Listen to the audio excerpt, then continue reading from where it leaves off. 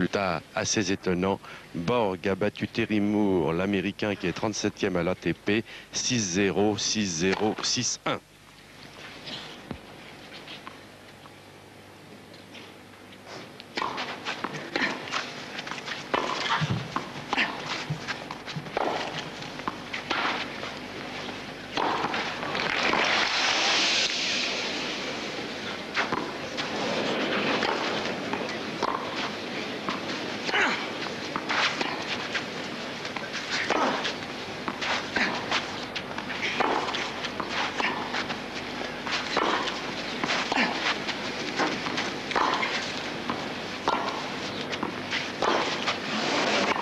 Faute.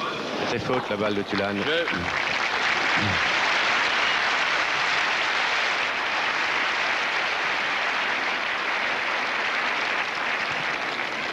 Taroxy mène 5 jeux 3. Première manche. Est-ce que vous croyez, Pierre Darmon, que Tulane peut maintenir ce rythme pendant 5-7, le cas échéant? Écoutez, il est en train de dépenser énormément d'é- d'énergie en déplacement et en puissance. Je crois qu'au cinquième set, c'est sûr qu'il serait très très éprouvé. Ce que je constate actuellement, c'est que Tarozzi finalement se laisse aller, joue beaucoup en contre, mais contrôle la partie sur le plan tactique. Je crois qu'également Thierry Tulane manque de variété dans son jeu. Il, fait ça, il joue essentiellement des coups droits décroisés et il va ainsi surprendre de moins en moins Tarozzi.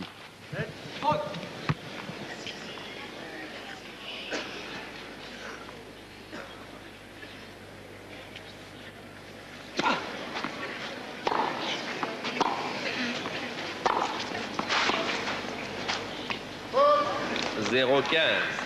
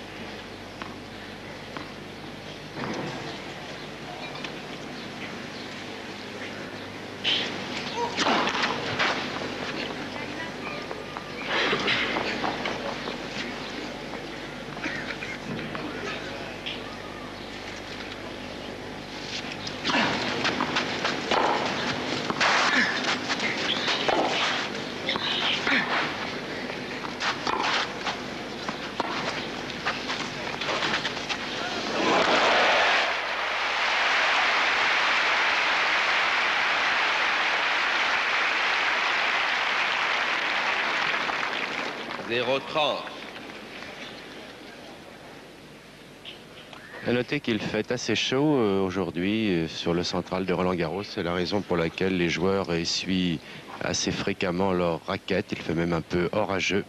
Je vous rappelle le score Tarozzi a un service d'avance. Il mène par 5 jeux à 3 dans la première manche. Et 0,30 sur son service.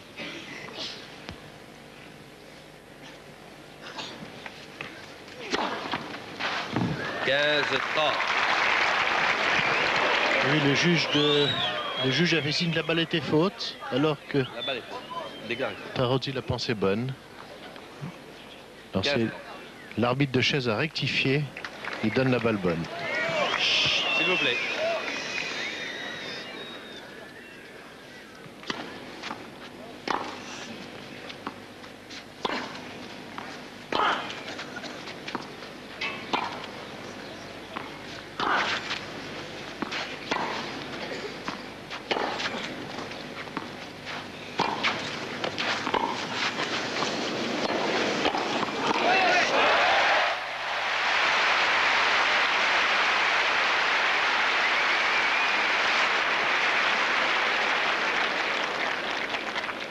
Quinze quarante.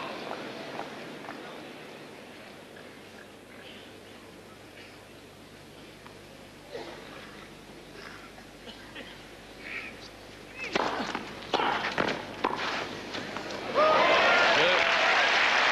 Balmain, Balmain. Balmain. Christian Jeu Tulane. Taroxy mène 5 jeux 4 dans la première manche. Balle Christ- neuve.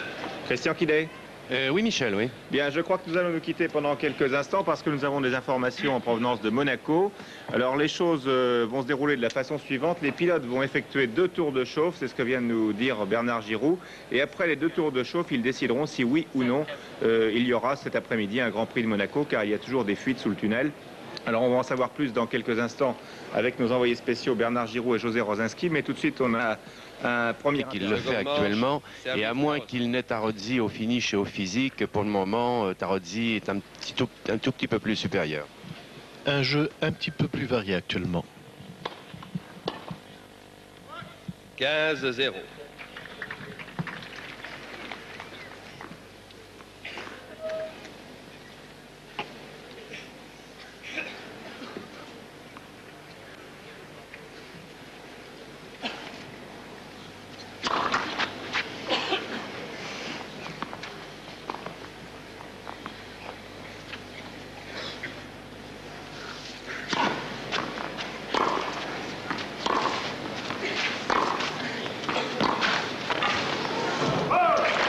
a fait une mauvaise chute. Là, non, il se relève euh, sans, sans danger pour lui. il, a, il, a, fait ce qu'on appelle un, beau roulé-boulet. Et oui, un roulé-boulet à droit puisqu'il ne s'est pas du tout blessé. Il s'essuie simplement. Il y a beaucoup de terre alors qu'on revoit justement ce roulé-boulet sur une, une, accélération en revers très très remarquable qui a surpris Tarozzi qui cherchait à y aller et en est cherchant à se récupérer voyez, il aurait pu se tordre la cheville s'il avait assisté. Il a préféré se laisser tomber. Et il a bien fait, car il ne sait jamais que Sally ne semble pas du tout touché.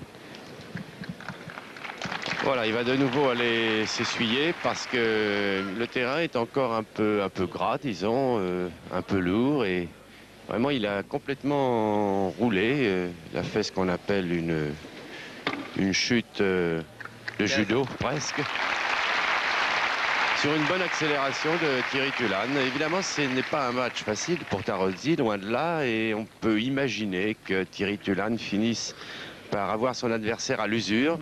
Pour le moment, euh, grâce à la variété de son jeu, comme le disait Pierre Darmon, c'est Tarozzi qui a remporté la première manche par 7 jeux à 5. 40,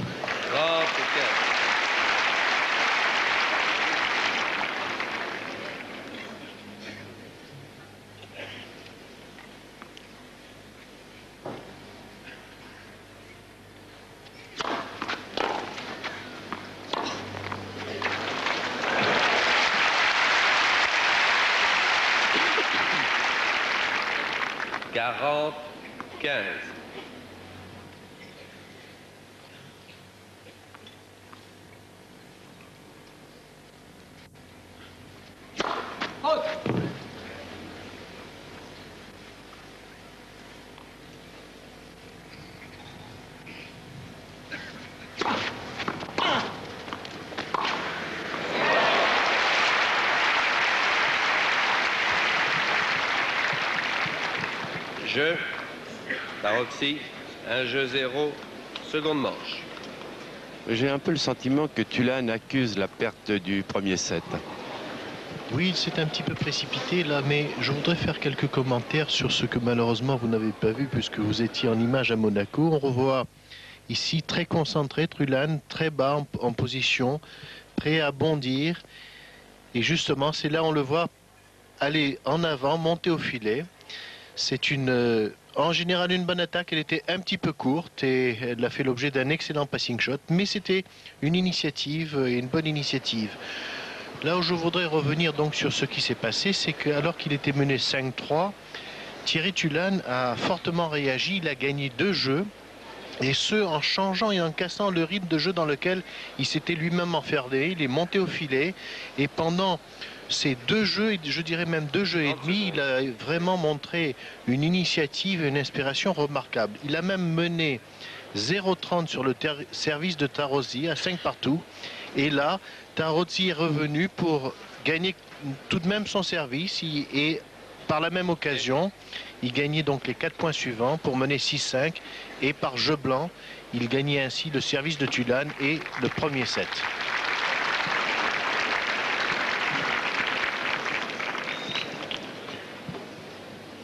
Voilà, il y a 17 000 spectateurs autour du central et beaucoup de monde également sur le cours numéro 1 où se dispute un très joli match entre Victor Pecci et Fibac.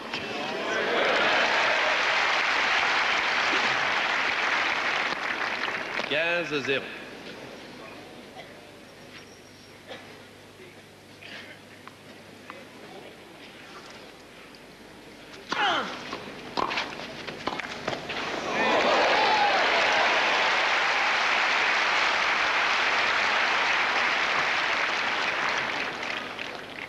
0.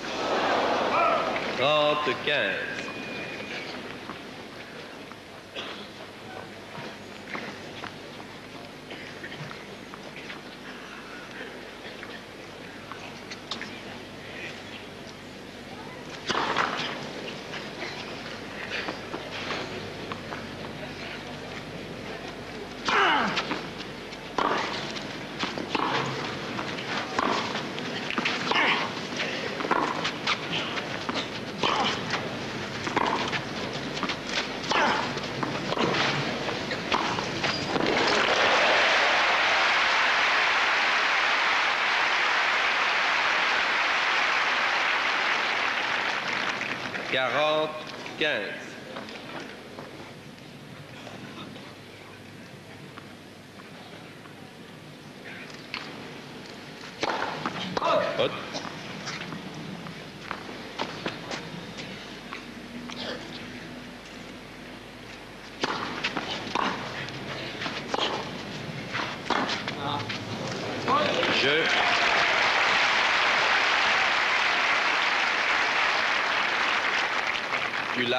Un jeu partout, seconde manche. Vous savez, Pierre, à qui me fait penser Tarozzi Mais il me fait penser à Kojol quand Kojol joue bien. Oui, il est un peu comme un chat sur le court. Il contrôle bien la, balle, il se déplace. Je crois que ce qui est au bénéfice de Tarozzi, c'est qu'également il peut venir faire la différence au filet, là où Kojol préfère rester au fond du court. Deux balles.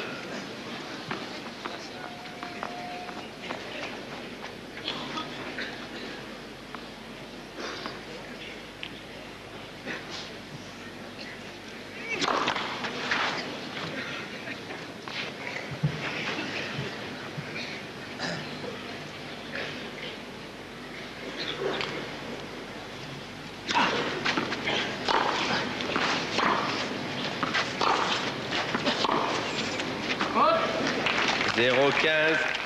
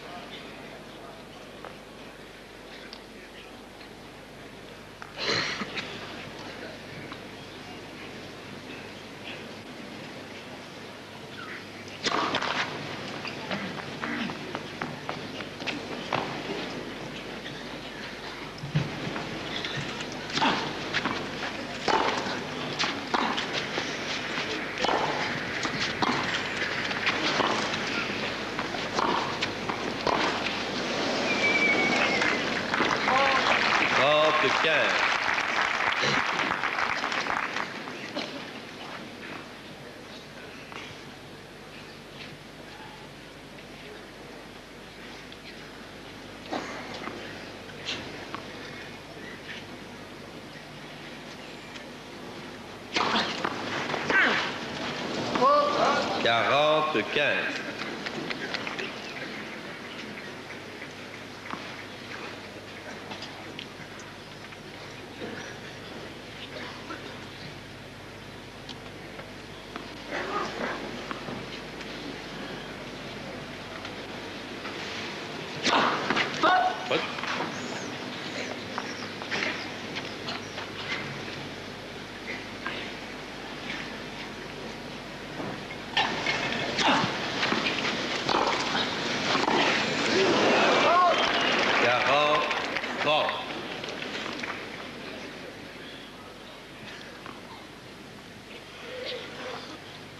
Christian Oui, Michel. Euh, je crois que nous allons reprendre l'antenne pour Monaco parce que les pilotes ont terminé leur réunion.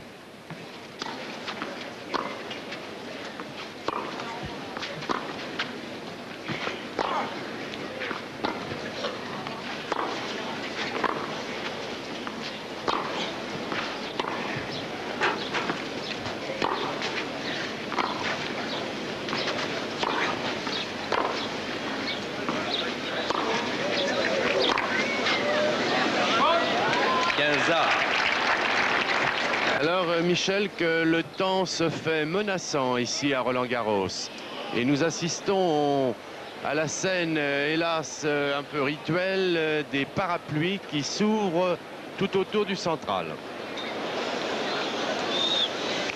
Il ne pleut pas encore suffisamment pour arrêter la partie, mais ça commence à tomber un petit peu.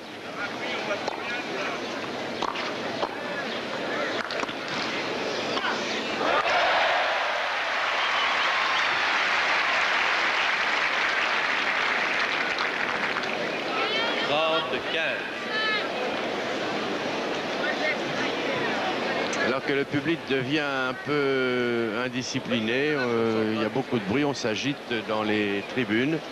Et l'arbitre semble discuter avec Balastarozzi qui préférerait peut-être interrompre la partie. Mais l'arbitre vient de dire non, non, vous continuez, vous jouez.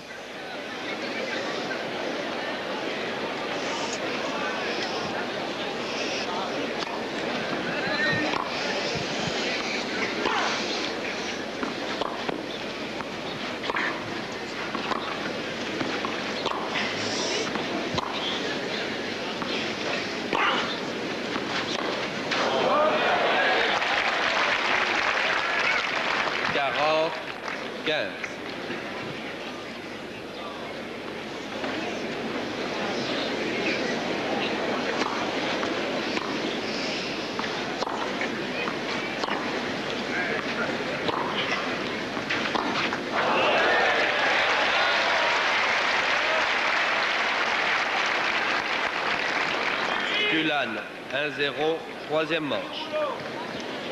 Donc Tulane qui, met un, qui mène 1-0 dans le troisième set alors que Pecci a remporté la première manche sur le cours numéro 1 face à Fibac. Et quelque chose qui m'a un petit peu frappé, Pierre Darmon, c'est que Balastarozzi est allé demander à l'arbitre si on ne pouvait pas interrompre le match, alors que vraiment pour le moment il n'y a aucune raison d'interrompre le match, il ne pleut pas suffisamment. Est-ce à dire que Tarozzi se sent déjà un petit peu éprouvé tout de même par les attaques de Tulane Écoutez, peut-être le ressent-il. En tous les cas, jusqu'à présent, il a l'air de bien tenir. On le voit ici en gros plan. Il n'a pas l'air trop trop fatigué. Il a l'air de mener cette partie sans trop de problèmes. Ce que je crois, c'est qu'il y a eu tellement d'averses, euh, il pensait qu'elle allait durer cette averse, alors qu'au contraire, il semble qu'elle se soit arrêtée maintenant. Je crois qu'à moins qu'il soit fatigué, comme euh, vous pouviez peut-être le penser, euh, je crois que pour le moment, il domine la partie. Il n'aurait pas intérêt à l'interrompre. En tout cas, voilà donc euh, Thierry Tulane condamné à gagner ce troisième set alors qu'il a perdu les deux premières manches par 7 jeux à 5 et par 6 jeux à 3.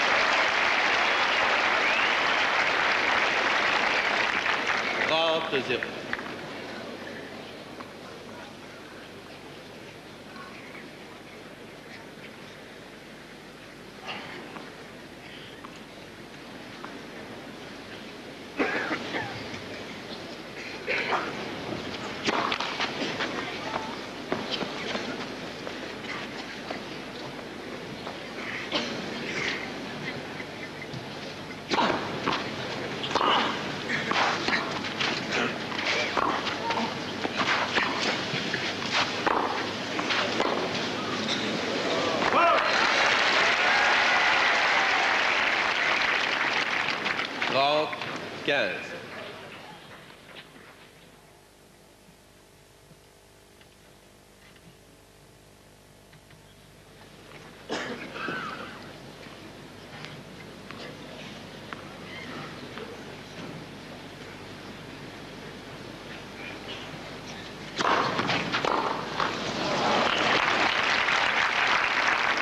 Quarante-quinze.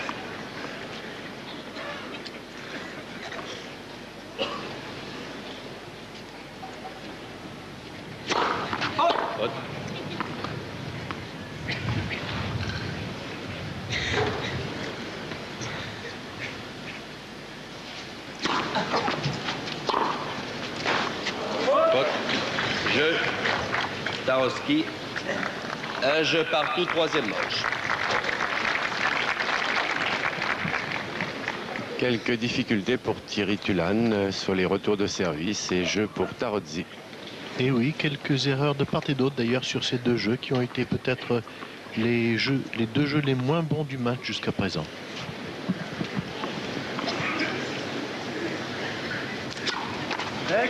Deux balles.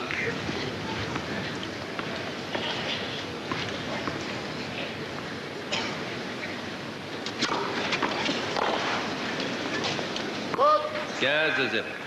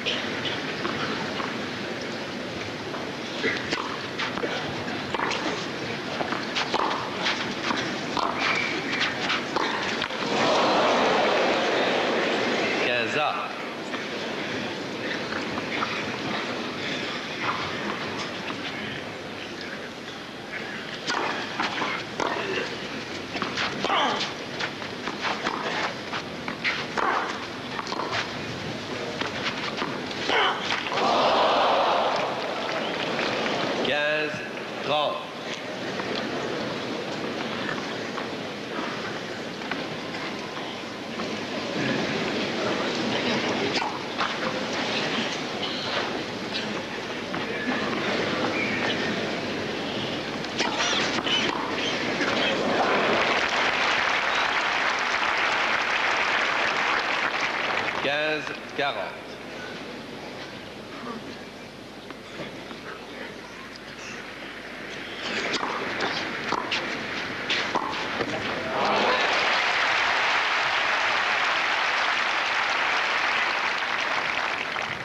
つ quarante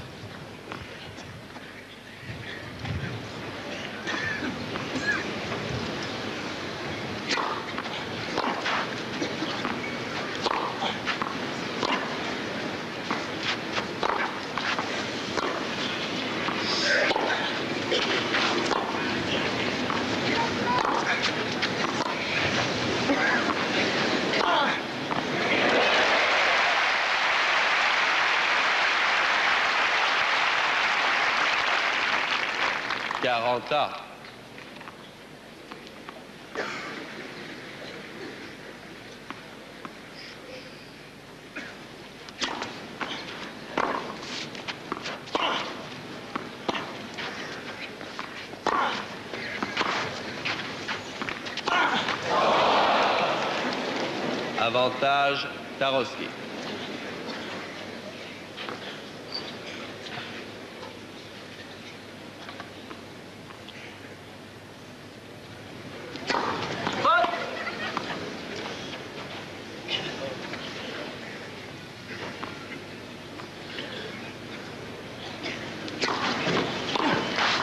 Égalité.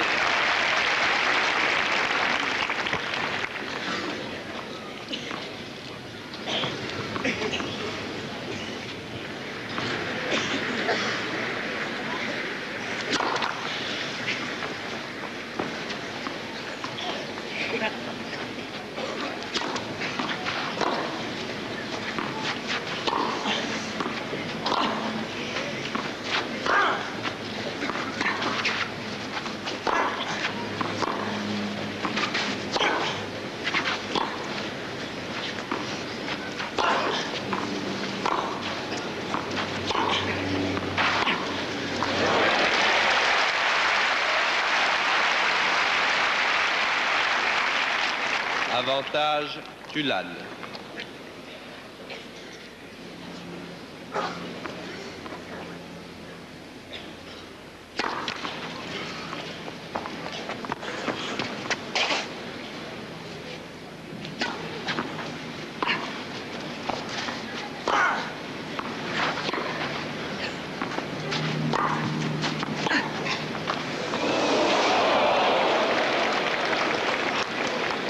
Égalité.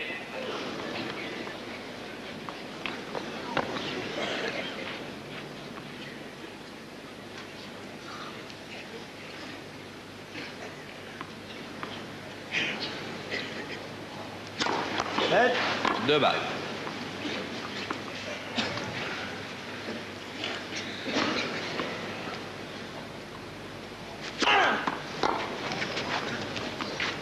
Avantage Tulane.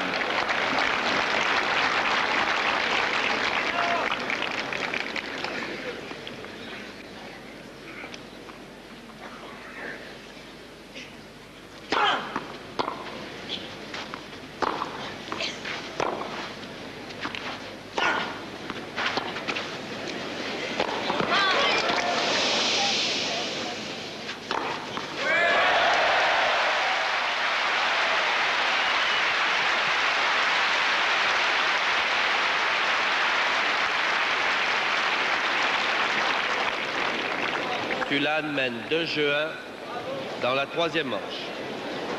Oui, il avait mal euh, débuté ce jeu et ensuite il s'est fort bien repris. Oui, un jeu intéressant où Tarotti avait eu un peu de réussite en, ré- en ayant des balles nettes bonnes, des amortis, sur lesquelles il était- avait été plutôt en difficulté. On revoit ici un excellent service de Thierry qui est en train de servir euh, des premières balles très très lourdes. Et l'ouverture qui permet une attaque euh, puissante là aussi. Un premier smash qui n'est pas très réussi ce premier smash. Et sur un lob euh, meilleur, là Thierry fait la différence en trouvant une très très belle ouverture. Thierry qui a très bien smashé aujourd'hui, il n'a pratiquement pas fait de faute en smash. Une chose qu'il était intéressante de, de remarquer également, c'est la manière avec laquelle Tarotti réagit au lift. Il prend souvent ce lift de Thierry Tulane en demi-volée.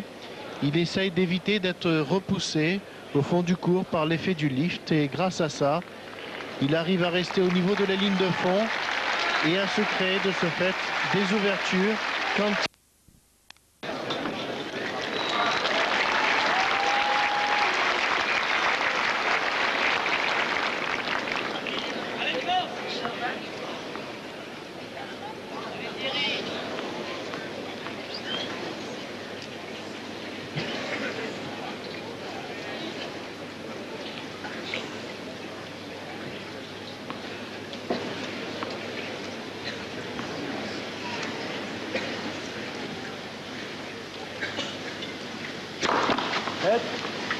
Deux balles.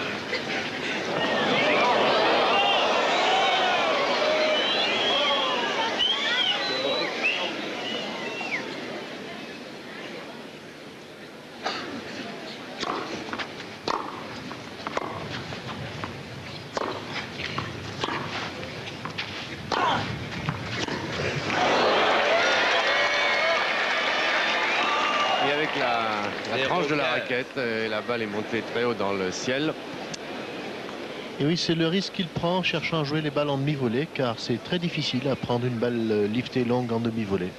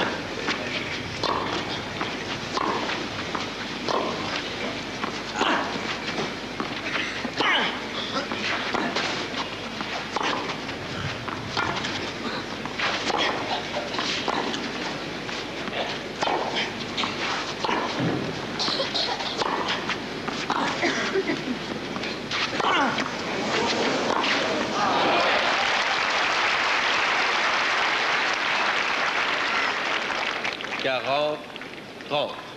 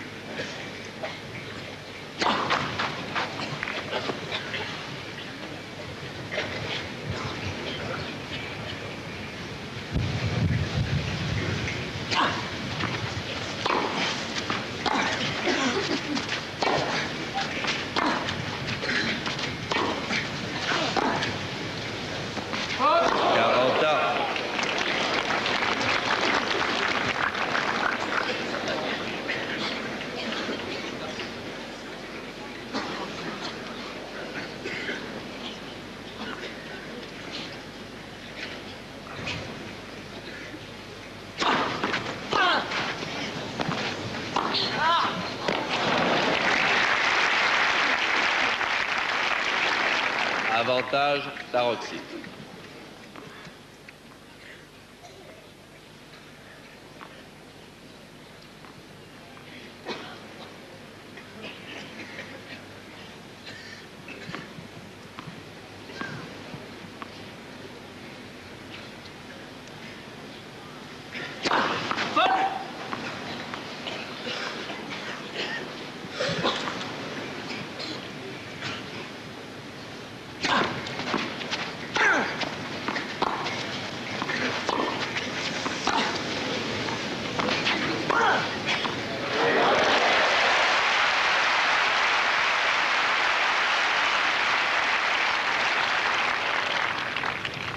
Égalité.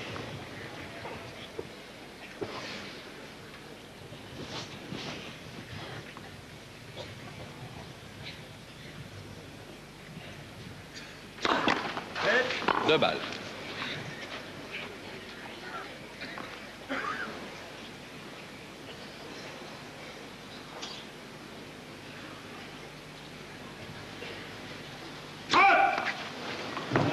Second service.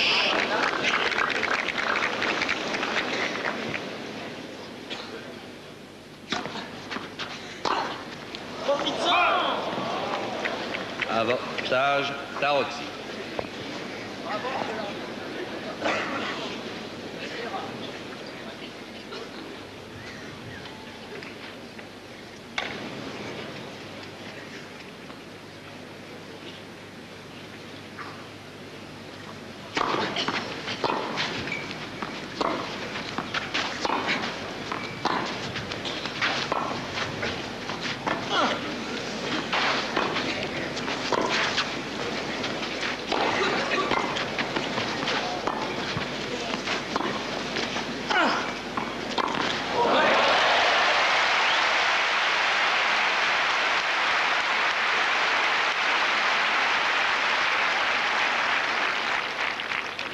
Égalité.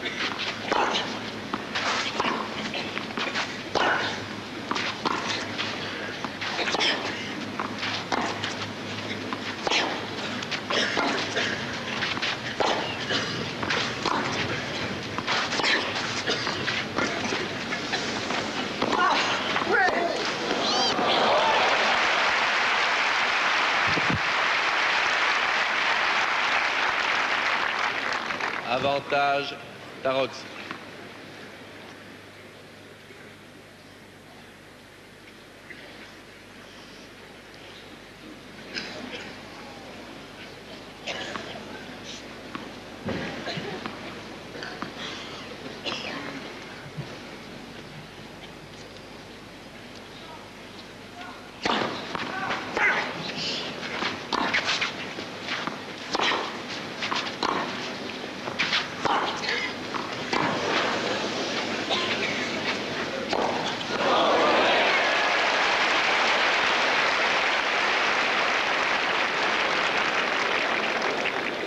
Égalité.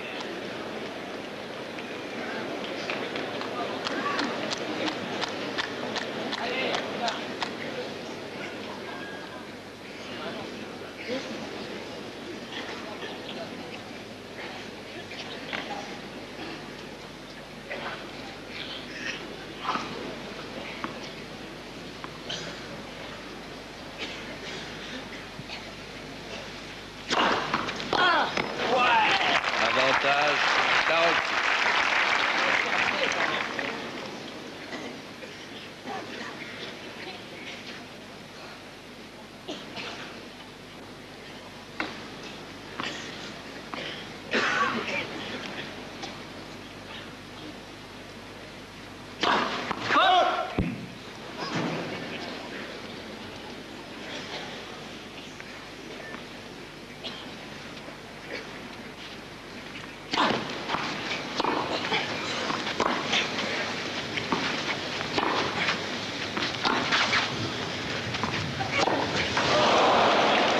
Jeu.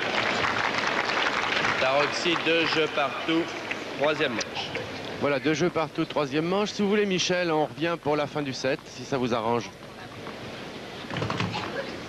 Christian?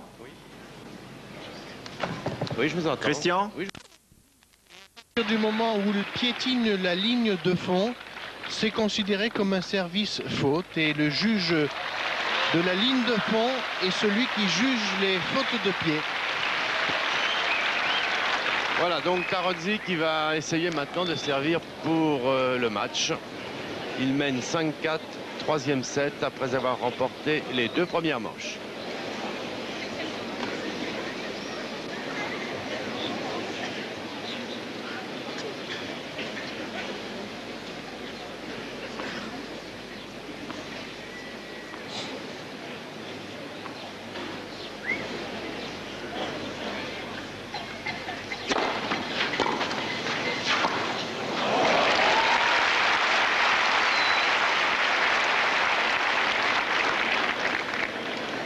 Quinze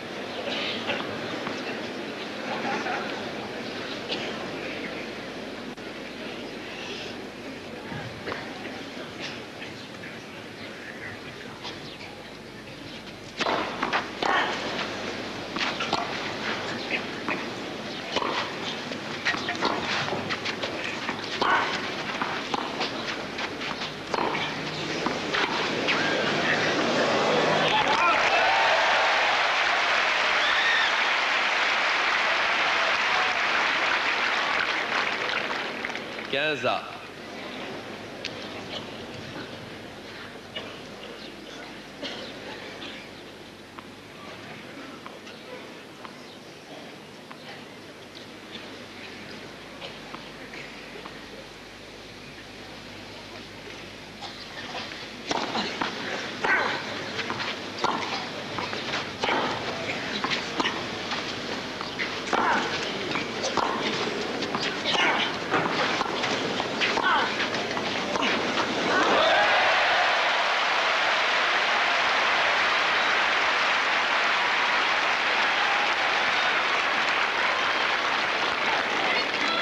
Quinze, trente.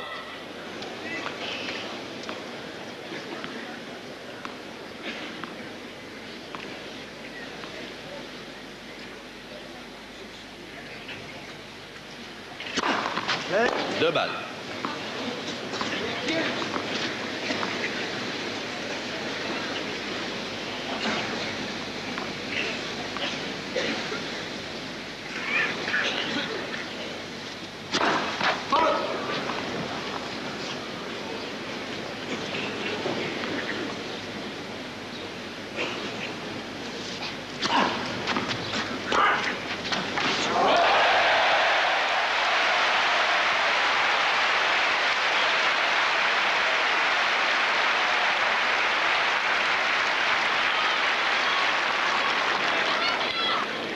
15-40. 15-40. Deux balles d'égalisation à 5 jeux partout pour Thierry Tulane. Faute.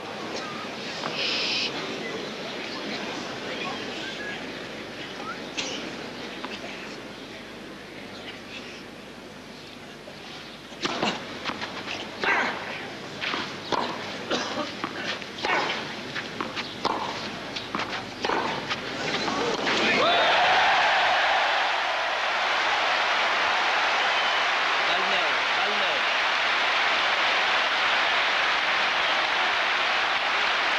Balle neuve, balle neuve.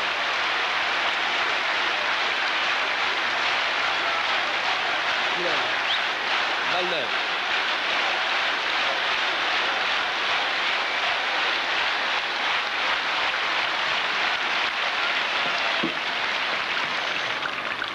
Tulane, 5 jeux partout, troisième manche. Balle neuve. Eh bien, c'est toujours impressionnant que de voir et que d'entendre 17 000 spectateurs qui applaudissent en français.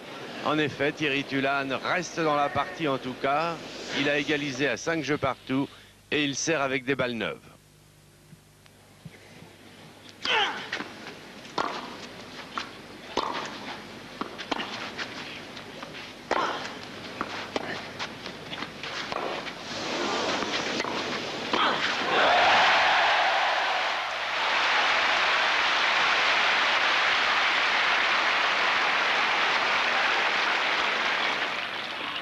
Quinze zéro.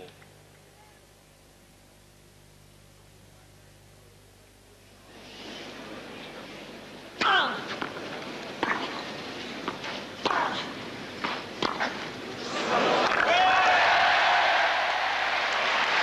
il y a beaucoup d'ambiance, Michel. Maintenant, chaque point gagné par euh, 30, Tulane soulève des applaudissements. Il est très bien soutenu par le public, le petit Thierry.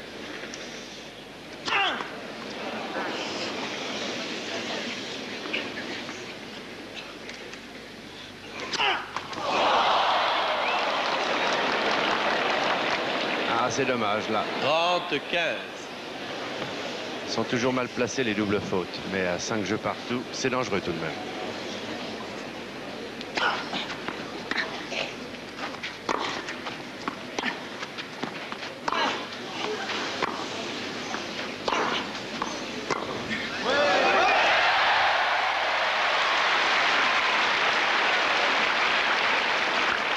Quarante, quinze.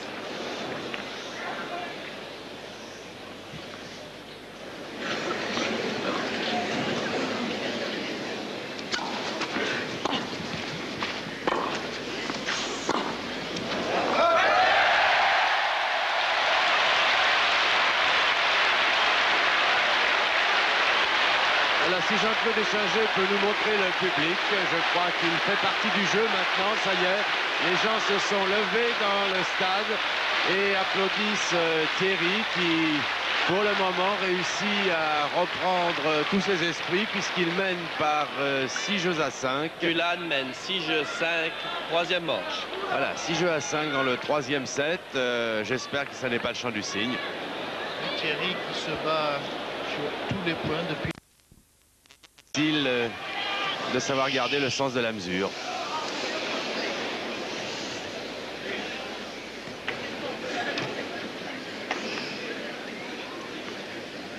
Christian Quidet. Oui, Michel. Oui, une seconde, je demande à Gilbert Lariaga de donner l'image de Monaco car Nelson Piquet vient de sortir de la piste. Et je pense que c'est un moment important dans la course. Bernard Giroud, très brièvement. Oui, très brièvement, mais il faut dire qu'à Monaco, il se passe beaucoup de choses depuis quelques temps. euh, Mais il est vrai que le tennis est une mode et que le tennis oblige apparemment. Et actuellement, bien Nelson Piquet, le leader, euh, a heurté, euh, vous pouvez le voir, le rail, juste après la chicane. Cette rencontre entre Taroxy et Tulane a été émaillée de deux, trois incidents, les uns un peu dramatiques, les autres un peu drôles. Celui-ci se situe juste entre les deux, regardez.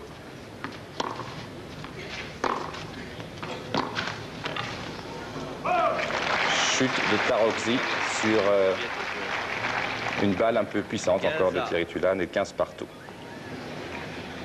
Et maintenant, un S, pour bien faire voir, lorsqu'il se sera séché, qu'il aura retiré de la terre battue qui s'est collée sur son maillot et sur son short, et tout de suite après ce ralenti, vous allez voir un S de Taroxy.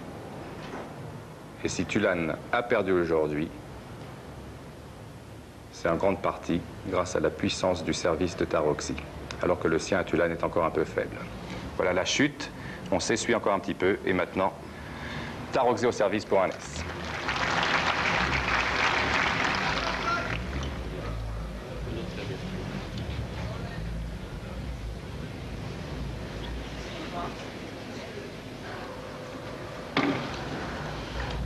15 ans.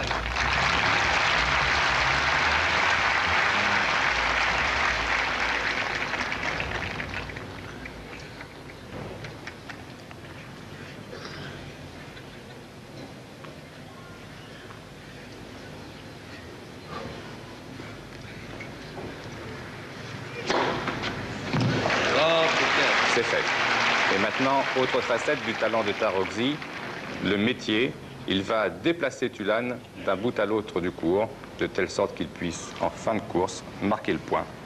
Et en l'occurrence, le jeu qui est le premier de la deuxième manche. Un coup à droite, un coup à gauche. C'est ainsi que Tarogzi a joué presque tout au long de la partie. Il a très peu commis d'erreurs. Et la pression de Tulane n'a pas été assez forte pendant un certain temps pour qu'il puisse l'emporter.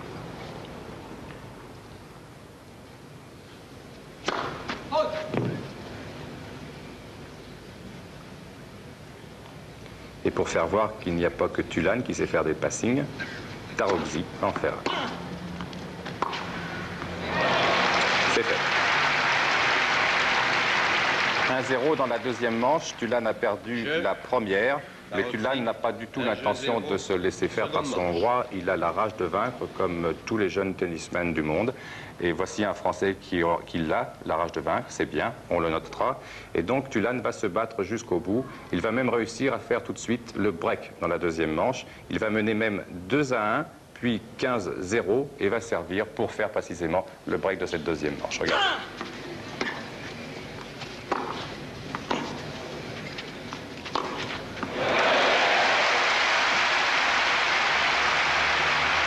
30-0. 30 0.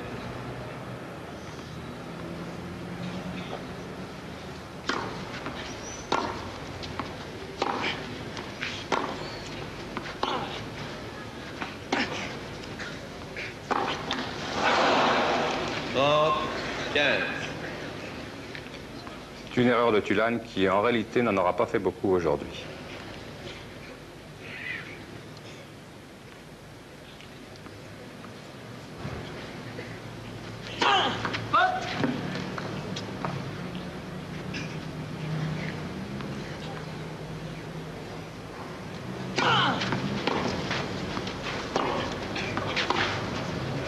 et un smash.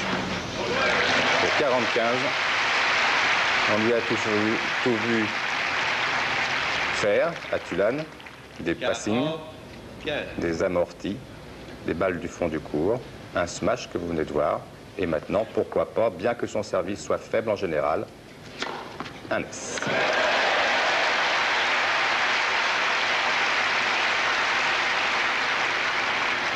Et donc, à partir de cet instant-là... Tulane, 3 jeux 1, seconde manche. Vous l'entendez, Tulane mène par 3 jeux à 1 dans la première manche alors qu'il a perdu la première. Et on se demande un petit peu ce qui va se passer. Il est bien parti pour remporter cette manche. Et puis tout à coup, il va y avoir un incident. Je vous propose de voir les images de cet incident qui est tout à fait euh, original, qu'on ne va d'ailleurs pas très bien voir avec la télévision. C'est dommage car l'arbitre aurait peut-être pu revoir et revenir sur sa décision. On saura un jour si on pourra servir de la télévision pour juger des balles. Mais regardez ce qui va se passer. Et si je vous le fais voir, c'est pas tant pour l'incident que pour comprendre que Tulane va être tout à fait déconcentré pendant quelques jeux qui vont suivre. Vous l'avez vu ce qui va se passer.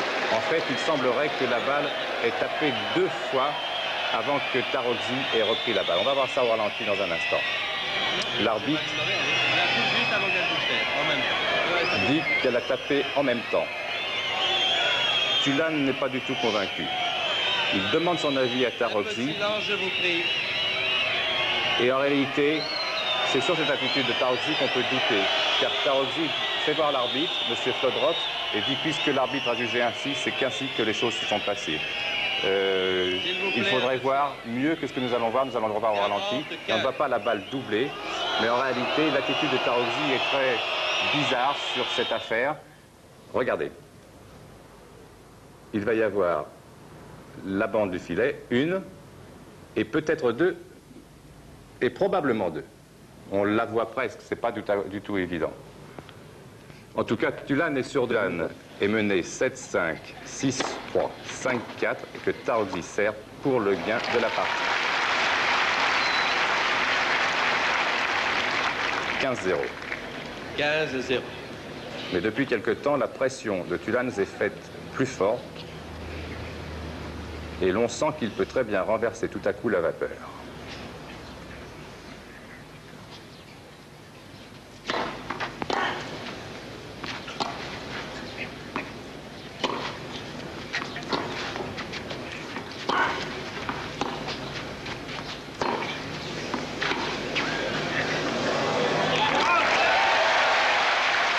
15-15. Le public se met à murmurer plus fort qu'il ne l'a fait jusqu'à présent, lui qui a toujours bien soutenu Tulane, mais qui sent que les choses peuvent changer en faveur du français. 15 partout.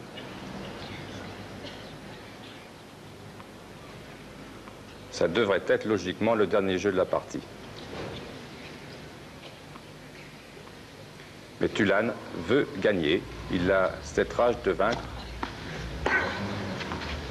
qui le rend si populaire auprès du public. Il ne s'avoue pas du tout vaincu. Au contraire, il monte. Et comme il est bien monté, il mène maintenant 15 pentes.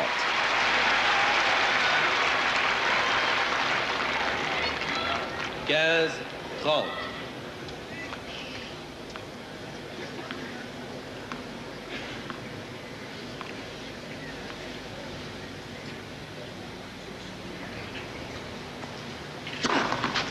Deux balles.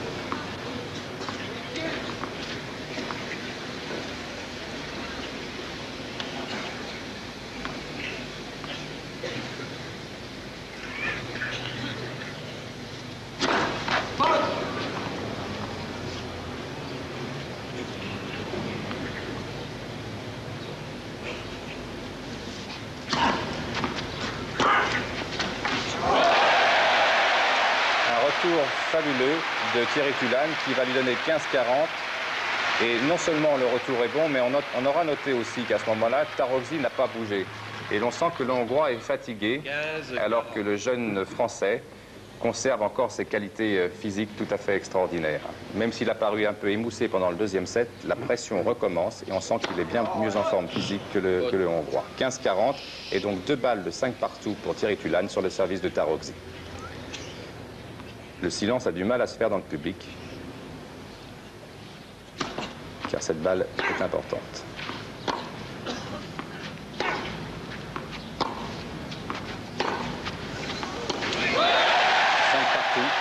Il n'y a qu'à écouter le public de Roland Garros pour comprendre que les choses sont en train de tourner.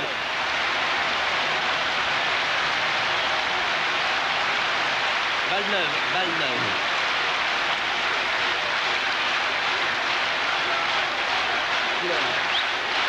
5-4 au tableau, mais c'est 5-5.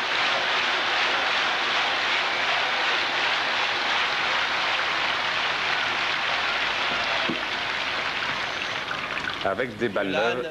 5 jeux partout, troisième manche. C'est maintenant à Thierry Tulane de servir.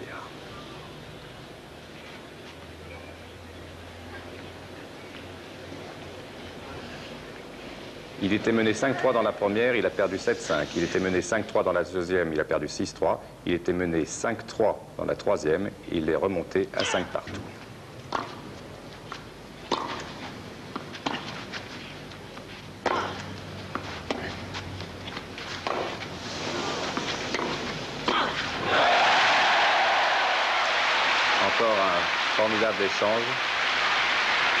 Le bif de Tulane remet la balle, si j'ose puis m'exprimer ainsi, regardez, dans le cours, alors qu'on pense parfois qu'elle sort. Et puis il est bien placé pour placer un smash et pour mener 15-0 dans ce jeu.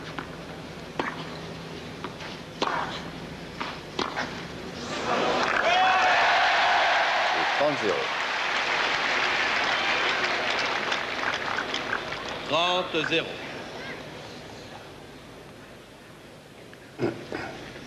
Et là, décompression. Une faute.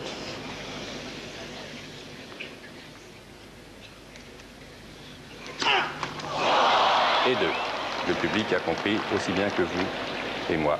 Déception. 30-15. 35.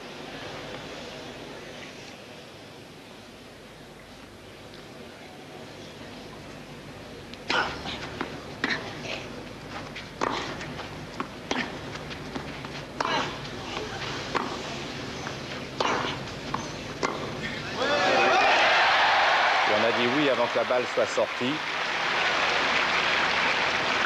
40-15 15. et deux balles de 6-5 pour Thierry Tulane.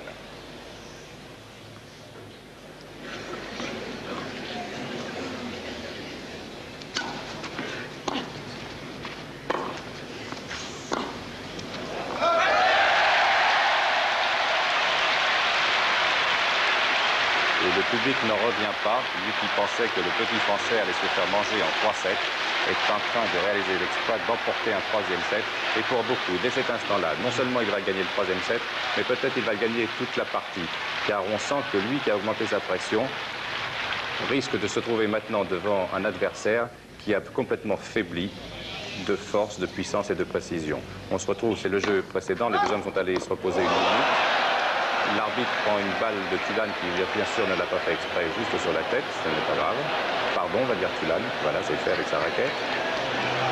En tout cas, le service de Tarokzi était faute. Et Tarokzi va pouvoir servir pour tenter de revenir à 6 partout dans cette troisième manche.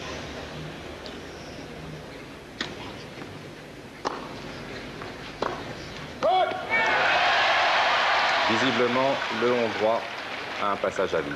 0-15. Il y a près de deux heures et demie que l'on joue.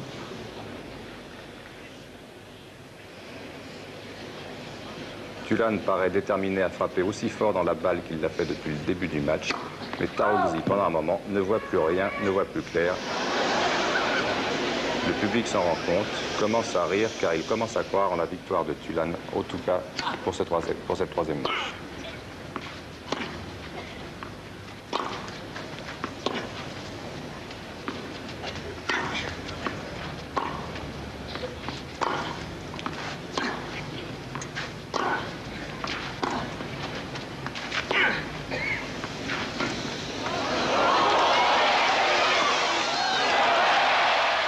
Encore un échange merveilleux. Il y en a eu beaucoup pendant cette partie. Thierry Tulane sent qu'il peut faire quelque chose maintenant, non seulement gagner cette troisième manche, mais peut-être aussi le match. Et nous aussi, on y croit, je dois dire. 15 partout.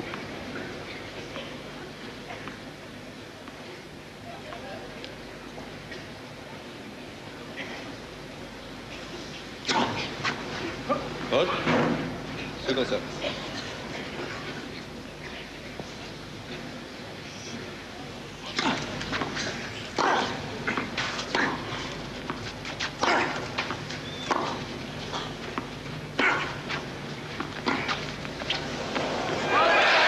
Instant. 15, 30.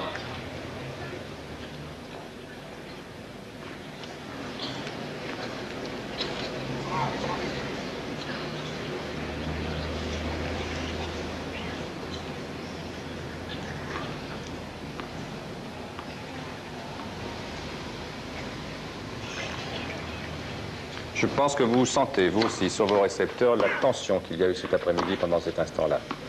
Le public retenait son souffle dans les bons moments et hurlait dans les bons moments.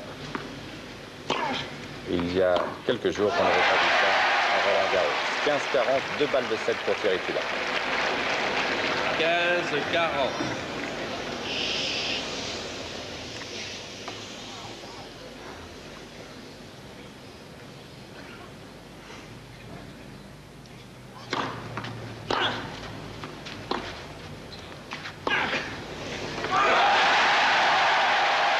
Et c'est fait sur un exploit technique en plus de Thierry Tulane.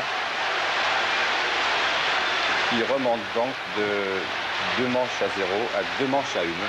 Et à cet instant-là, alors que nous allons quitter en image le central de Roland Garros, à cet instant-là, beaucoup de monde, que ce soit dans, parmi les téléspectateurs, parmi les téléspectateurs, car nous étions presque en direct à ce moment-là, je crois, et parmi euh, les journalistes qui étaient à la tribune de presse, eh bien à ce moment-là, on pense que Tulane va gagner la partie, car on a remarqué que non seulement donc, sa pression augmentait, qu'il réussissait ses coups, mais aussi que Tarouzi était très fatigué et n'arrivait plus à faire ce qu'il voulait faire. Mais voilà que Tulane s'est un petit peu relâché. Voilà aussi que Tarouzi s'est mis à Halbfinalspiel zwischen dem als Nummer 1 gesetzten Jimmy Connors und dem Ungar Balázs Tarocci. Die Spiel, meine Damen und Herren, ist im Gang seit ein paar Stunden. Wir müssen uns live einblenden. Gerd Schipanski meldet sich also nun vom Hamburger Rotenbaum. Nicht sicher, ob dieses zweite Halbfinalspiel in den nächsten Minuten hier zu Ende gehen wird. Seit 14.30 Uhr, seit über vier Stunden stehen sich Connors und Tarozzi gegenüber und wir sind im fünften Satz. Spielstand 2 zu 2.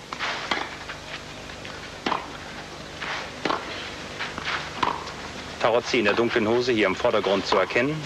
Zwei beide im fünften und entscheidenden Satz damit.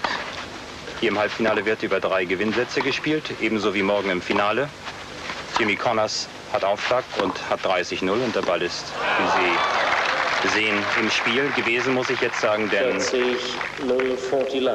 Tarozzi, der Ungar, trifft den Ball unglücklich mit dem Schlägerrahmen und damit 40-0 und dreimal die Möglichkeit für Connors in diesem packenden, spannenden Spiel, in diesem fünften Satz auf 3 zu 2 zu erhöhen. Connors sah in diesem fünften Satz bereits wie der Sieger aus. Er hatte 2 zu 0, aber dann ein Rebreak. Der Ungar holte sich den Aufschlag zurück, allerdings in einem Spiel, Spiel mit unschönen Begleiterscheinungen.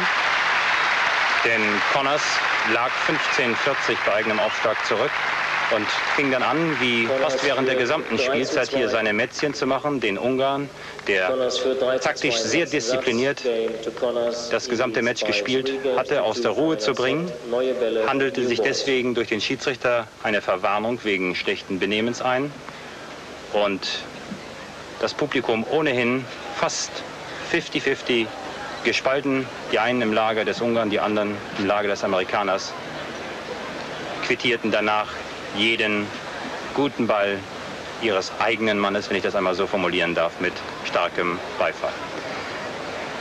Fast viereinhalb Stunden, vier Stunden 26 Minuten, inklusive eine 10-, 12-minütige Pause, die beiden Spielern nach dem dritten Satz zustand.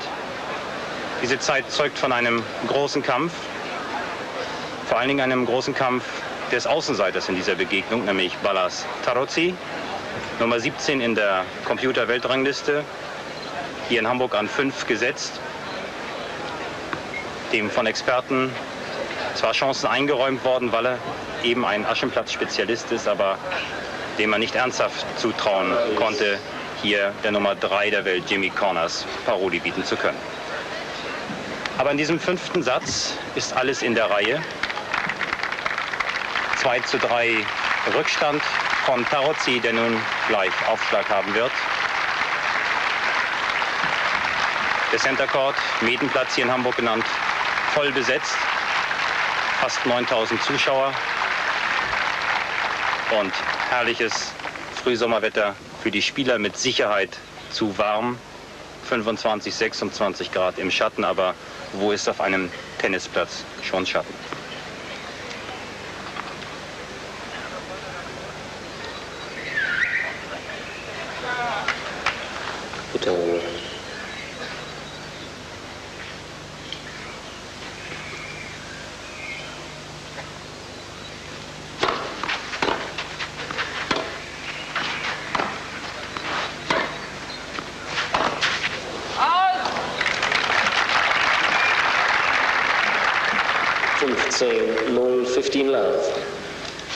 Viel Licht und viel Schatten, auch bei Jimmy Connors, der zwischen großartigen Bällen, die das Publikum immer wieder zu Beifallstürmen hinrissen, auch einmal so leichte Vorhandfehler wie eben sich leisten musste. Es ist natürlich jetzt auch eine Frage der Kondition, der Konzentration. Zu Beginn dieses fünften Satzes war zu befürchten, dass der Ungar abbauen würde, aber er ist wieder ins Spiel gekommen und eine Vorentscheidung über den Sieger ist hier derzeit nicht gefallen. Hier wieder eine schwache Vorhand des Linkshänders Jimmy Connors. 30-0, 30 love. Der ja ungewohnterweise auf Aschenplätzen spielt. Damit ist seinem druckvollen, aggressiven, kraftvollen Spiel natürlich eine ganze Menge genommen, aber dennoch traute man ihm zu, dass er hier, wenn auch nicht leicht, aber immerhin sicher gegen Tawachi die Oberhand behalten sollte. 30-0.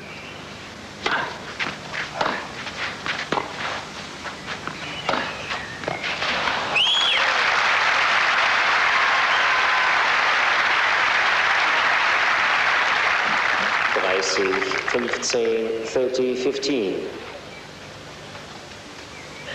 Connors muss sein Glück im Angriff versuchen. Taochi ist ja ein Aschenplatz-Spezialist, der das Grundlinienspiel bevorzugt. Darauf wartet natürlich, dass Connors vorkommt, um ihn dann passieren zu können.